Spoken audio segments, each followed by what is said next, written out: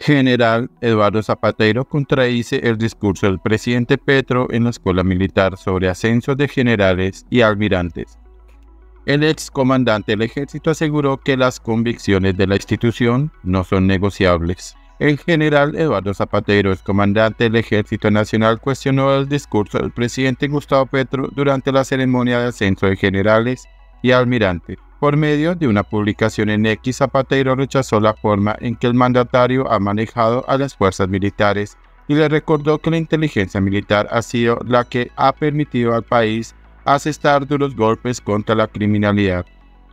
La inteligencia ha sido por muchos años el activo estratégico más importante del ejército y los golpes contundentes de anteriores gobiernos lo demostraron.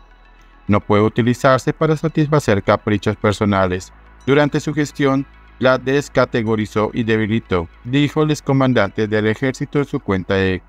Pero más allá del trino, Zapatero aseguró que el presidente Gustavo Petro maneja un discurso amañado y sin ningún sentido, que no ayuda a fortalecer las fuerzas militares, sino que tiene un efecto contrario al anterior de las tropas. Siguen siendo discursos amañados y sin ningún sentido serio, que ayude a fortalecer lo que recibió, contrario únicamente a la de la perversidad, agregó el general en retiro.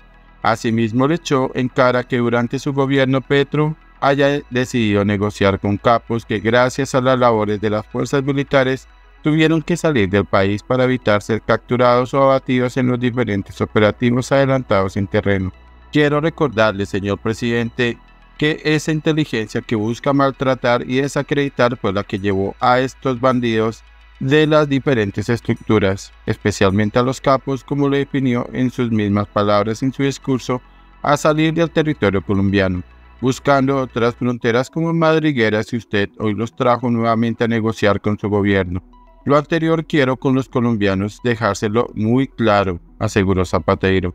Por otro lado, el excomandante del Ejército Nacional le pidió al mandatario que no confunda a los colombianos y mucho menos a los oficiales, suboficiales y soldados, pues Petro habló de profesionalizar a los militares, algo que Zapatero les dejó claro y les recordó que ya se estaba haciendo desde hace algunos años y con la certificación de escuelas de formación, capacitación y escuelas de combate. Mucho cuidado, veo que está dañando vías militares por estar escuchando personas que jamás fueron reconocidas por la excelencia militar y mucho menos trascendieron en el ámbito militar y hoy son sus más cercanos consejeros.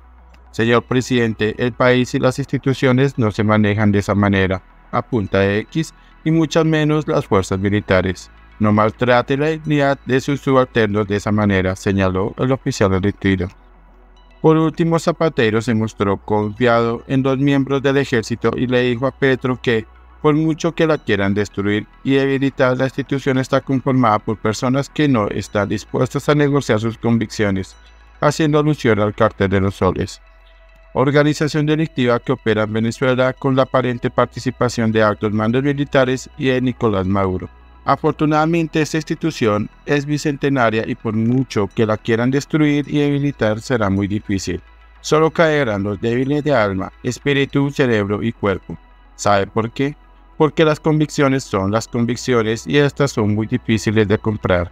No creo que nuestros hombres y mujeres del glorioso ejército nacional lleguen a caer tan bajo como sí lo hemos visto en otros países, cártel de los sobres y también en colombianos, que han colocado sus intereses personales por encima de los de la patria misma. Así nomás para que todos reflexionemos, expresó.